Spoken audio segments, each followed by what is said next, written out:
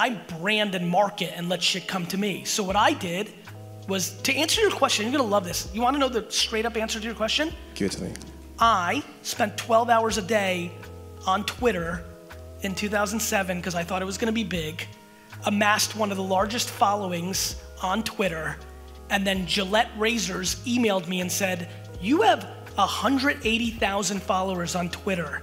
We'd like to understand what Twitter is. Can we pay you a consulting fee to tell us what to do? I said, Yes, $80,000. They said, Okay, that's how I got my first client.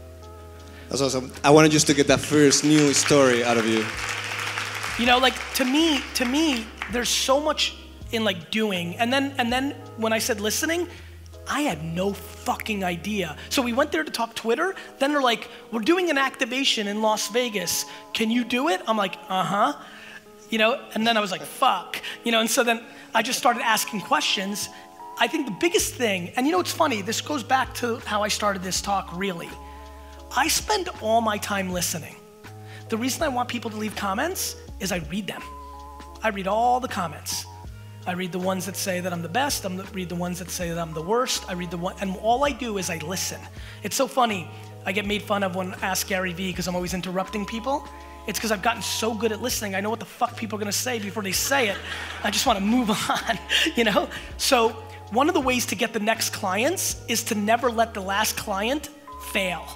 The only way not to let a client fail is to over listen and provide them what they want at all costs, which is why I always push against people selling to the bottom because the bottom doesn't know what to do with it, and then you're never gonna win. You're just gonna keep regurgitating the bottom. And so that's how I did it. I did it first, and then I listened very carefully to the first 20 clients to make sure there was no chance that there was gonna be any vulnerability, and I built on the word of mouth of our quality deliverables for the client. There's a lot of actors out there who fail their career and then they decide they're going to open up acting schools or they're going to, you know, uh, promise people Sure. to have this career that they never had. All right. So what I do, I'm very much document over create. I kind of document my own career. Very fortunate at the moment to be working pretty regular. I've just booked an- another TV job recently, so I kind of like feel that I can credibly not. Ye- Yeah, but you know you and I agree on this, except be careful because I promise you, I know in American football, I don't know in your football league, but I promise you, some of the best coaches of all time weren't good fucking players. Yeah. These, I, these are just people who have who have basically tried and then just not done it and then Well, because then- something like acting and athletics and business is talent. Yeah, you do need you do need that. The thing Oh, that, oh, hold on.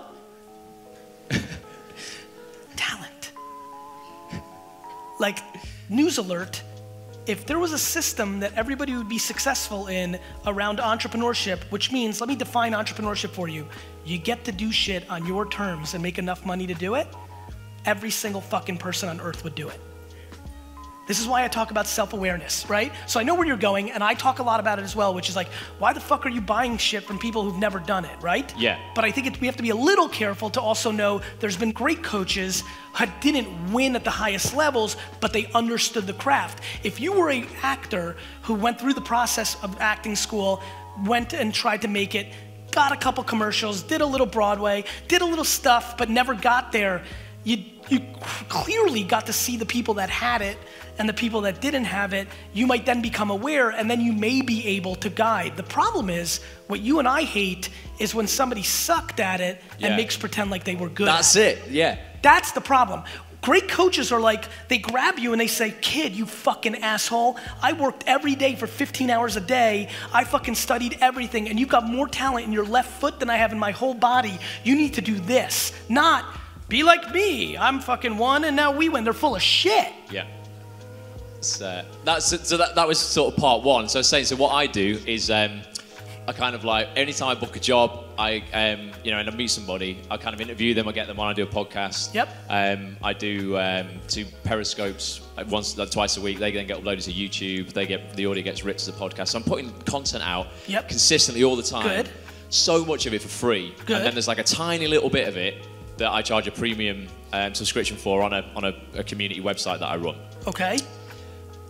I've got a lot of people signed up for the free stuff. They just don't think your product is worth it to pay for. Well, I was going to say, can you give away? Is it possible sometimes you're just giving away too much for free that people are like, I've actually got enough coming through for free that I don't really need to pay for anymore because I've got enough info? You know that thing you said about the actors? Yeah. That. If you're good enough, there's not too much is free. Yeah. So That means you're not good enough. you can. I'm Gary. I'm good enough, man. I No, swear. no, no, no, no. Be careful. The market decides if you're good enough, bro. It's, a- it's just yeah. It's just yeah. Thank you. I'm definitely good enough, guys. No, no, but give it, give it back to him. This is an important thing because this Yeah. is how this is how you want to win. Yes. You're not good enough if you're complaining about not enough people converting. No, I was just saying. Is is is is is that I think uh, really No, I because don't you because you give away so much. And All of it. That's what I mean. So you you you, you never tempted to monetize any of that. I know you do like t-shirts and all that You know kind of why? stuff, but well, because you don't need to. Because I'm good enough. Yeah. It's and, and the thing. So the, No, but like, listen, like, I love when people go to conferences and they're like, oh, that guy's such a great marketer. He's one of the best marketers. I'm like, who the fuck is that person? Like, no, everybody knows a great marketer. I'm like, great marketers show up on the fucking cover of Entrepreneur Magazine and show up on CNN and like work with Budweiser, right? So like, I, like, no, I mean, like, here we are. We're talking it out. So I let you in the mic. Like, like, I could sell plenty. I'm leaving real fucking money on the table. I get people email me and offer me $100,000 to spend an hour with me. yeah. Like, forget about your bullshit 30 bucks a month horseshit. I get people who offer me $100,000 to spend an hour. You know why? Because I'm good enough. And I still say no to that. So the answer is that's it. The market is the market is the market. People write books and sell them direct, and they want to use them as gateway drugs to other things. I get paid $4 million to even write a book. You know why? Because I'm good enough. So think about it because then you can tweak it. If you actually believe that, the reason I'm forcing this one is because I need you to believe it. You need to understand it doesn't matter what you think about your content. You're not good enough if it's not converting to a number that you think. But you might not be willing to do shit to convert more because it's against your principles. And I commend you for that. But then you have to get fucking good so that it happens what you're trying to do. You gotta ask yourself why are you even doing that? like is that's you've decided that's a good business that's fine that's great. Like these are all things that play out. Maybe if you gave a lot more content and mixed in some of the energy you, you're using to convert into a freemium model into maybe some content that's more about your acting maybe that lead to bigger roles and you'll monetize that way. And then you can arbitrage fame and then that's the biggest of all. You know? The reason i get six figures to give a keynote everywhere I go, plus, is because I give away the other shit for free. Because I'm good enough. One of the cool things about having D Rock now document, I was saying backstage how much I wish that I've been vlogging when I started at Wine Library, because I think it would be important for everybody here to have the context of watching 10 years of working in a liquor store every single day for 15 hours a day in a vlog. You've heard the story, you know my background, but the reality is it's very hard to quantify unless you see it or you feel it. There's legitimately, how many people here under 35? Raise your hands.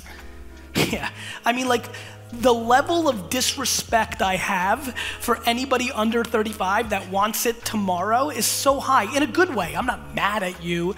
I just think that it's a very interesting time to be alive because the internet gives us opportunity for things to happen quick, but the reality is the people in this room that will win are the ones that take it slow. I think my energy and the way I roll speaks to a lot of fast paced stuff. But if you really peel away what I'm talking about, it's just super old school. I very much more associate with 70 and 80 year olds than I do with 20 and 30 year olds about the way this goes down. And so if I, look, if I could say anything, it's the following. There, there's no system, there's no process, there's no thing that's gonna make it happen faster. There's only a couple of tried and true things. Number one, if you don't provide real, actual value to people in exchange for the money that you're asking for in return, you will lose over time. It happens every time. You might be able to make some quick cash, but you will never win long term. And you will go through the same shit over and over. There are plenty of 30, 40, 50 year olds in here who go up and down, up and down, up and down because their stuff is horse shit and it's not coming from the right place and they're looking to make a quick buck and some character on stage says that they got a process that's going to make it happen fast and they're wrong. So that's number 1. Number 2, you're living in a time where you're competing against everybody else.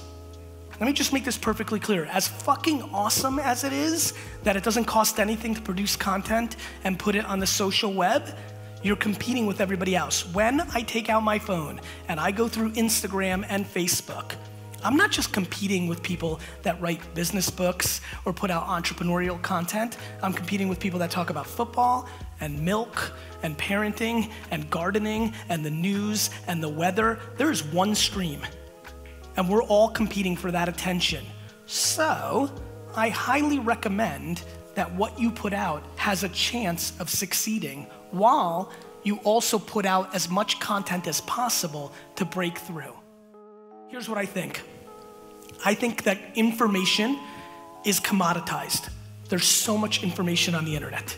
It's hard to sell information, in my opinion, and feel good about it because there's so much of it. There's a reason my content is free. It's because the supply and demand of content is harder than ever to sell and differentiate if you want to feel great about it because there's so much content. Is your $300 thing actually available for four hours of Google searching? Is your $100 thing actually available for $9? The answer is yes. I'll save you time as you debate it. So, that's what I think about.